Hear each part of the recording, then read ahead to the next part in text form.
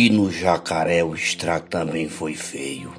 Só que o lado de lá ficou mais estragado. O fogo durou o dia todo, das sete da manhã às cinco da tarde, no ano de 1926, em fevereiro. Como um velho contador de histórias que era, Davi Jurubeba narra seu relato vivido na própria carne. Éramos 53 homens, incluindo a fina flor dos combatentes de Nazaré, Euclides Flor, Manuel Flor, João Jurubeba, Manuel Neto, Pedro Tomás. Os comandantes eram Higino Belarmino e Optato Queiroz. Este último comandava as forças nazarenas. Era boquinha da noite quando chegamos na fazenda Açude Novo, do meu parente Alcides. Em sua residência serviu um jantar farto para toda a gente e informou-nos que havia visto o rastro de cangaceiros por aquelas imediações, dirigindo-se para uma aldeia chamada Jacaré, dentro da Caatinga Esma, onde viviam algumas famílias de caboclos chamados Rajados e Pequenos, liderados por um tal de Manuel Pequeno, que, vez por outra, os homens desta comunidade se juntavam a Lampião quando tinham uma empreitada muito grande. Lá era um lugar que os cangaceiros gozavam do bom e do melhor. Nos acomodamos como foi possível. Uns dormiram dentro da casa, outros no alpendre e a maioria nos todos do terreiro da fazenda. Era quatro horas da manhã quando começamos a marchar a fila indiana em direção ao do jacaré. Nosso rastreador Bodoc confirmava toda a informação do Alcides. Juntamente com os primeiros raios do sol, chegamos dentro da comunidade. Pouco movimento nas casas, que eram todas de barro sacudido, coberto com palhas. Uma mulher ia com um pote d'água na cabeça, carregando um menino nos quartos, coisa típica das mulheres sertanejas. Quando lhe perguntei se havia cangaceiro por perto, o menino, na sua ingenuidade, respondeu antes da mãe: Papai está com um lampião lá na beira do riacho. Lá embaixo, preparando comida para todo mundo. Era o riacho de Poço da Cruz, na região das Carnaíbas, sertão pernambucano. A mulher, ao ouvir isso, começou a gritar para chamar a atenção. É mentira! Aqui não tem cangaceiro nenhum, não! É mentira do menino! Os gritos tinham a finalidade de alertar os cangaceiros para fugirem. Nesse momento, Euclides Flor, Euclides Flor aplicou um golpe com a coronha do rifle no rosto da mulher que ela caiu com o sangue jorrando do nariz. O pote virou cacos e o menino correu gritando e chorando. A mulher ficou estatelada no chão e mesmo assim o soldado João Cavalcante apertou-lhe a garganta até a mesma começar a virar os olhos. Mas não morreu porque mandei soltá-la. Os cangaceiros estavam por perto. Tinha certeza disso. A qualquer momento começaria a bagaceira. Um dos companheiros nossos viu um vulto correndo umas moitas na direção de um poço. Fomos ver. Nada, nem pegadas. Foi até motivo de mangação. Dissemos que estava com tanto medo que via coisas. Alma de cangaceiro.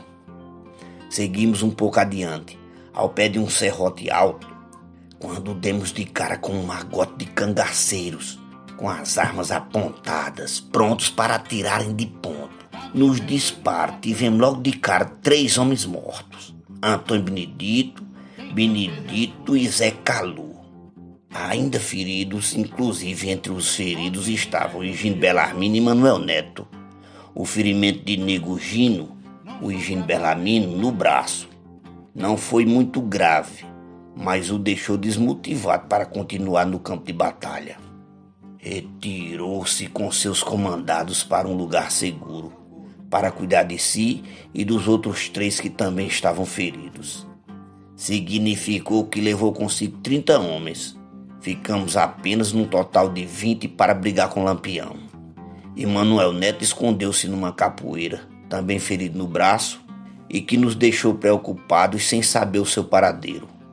Confabulamos, insistindo para deixarmos ali apenas os mortos e feridos com maior gravidade, mas os soldados do Nego Gino só continuavam na briga se ele também fosse. Então nada feito. Ficaram numa grande loca, na ribanceira do riacho, justificando estarem protegendo os feridos para não serem sangrados pelos cangaceiros. O que nos restava era sairmos apenas com as duas dezenas de homens, para procurarmos Manuel Neto e prosseguir a brigada com os cabras de Lampião. Medonha era zoada dos tiros. Todo mundo tinha a impressão que os pipocos eram no pé do ouvido. O fumaceiro e a vegetação impediam de se andar e enxergar tranquilamente. Saímos babatando à procura do bravo Nazareno Manuel Neto, gritando: Manuel Neto, cadê você? Respondam! Se você ainda está vivo, ferido, responda! que estamos indo te buscar. Estou aqui. Tô baleado. Vem me buscar, Davi. Achei um pouco esquisito a fala do amigo, mas segui em frente, agachado, com a arma apontada para o local de onde vinha a voz gemida, e repetia: É aqui mesmo. Cheguei. Você tá chegando perto, chegue mais. Menino, João, meu irmão, que estava ao meu lado, gritou já atirando na direção de quem falava. É mentira, Davi! É bandido! Foi uma tempestade de balas em cima da gente que quebrava os galhos dos matos, salpicava terra na gente e uma zoada dos diabo. Voltamos para o buraco de onde estava Gino. Manuel Neto já estava lá, com o braço arrebentado. Quem o encontrou foi o Pedro Tomás. Gino disse que seria bom irmos para uma casa de pedras que havia ali perto, para enterrarmos os três mortos e cuidarmos dos feridos, que estas alturas eram sete, entre eles Bodoque, e de lá seguirem o rumo de Betanha, arranjar um caminhão para conduzir até Floresta, onde receberiam melhor tratamento. Assim foi feito. Os feridos se foram e ficamos nós para azedar o leite. Chamei Eduardo e Zé Pinheiro para irem ao meu lado, juntamente com Manuel Flor, para umas pedras no aceiro do serrote, em pleno fogo. Apenas observando atentamente de onde vinha aqueles tiros, pelo visto de pronto. Aí descobrimos cangaceiros espalhados, protegidos por pedras e de vez em quando se levantavam e atiravam.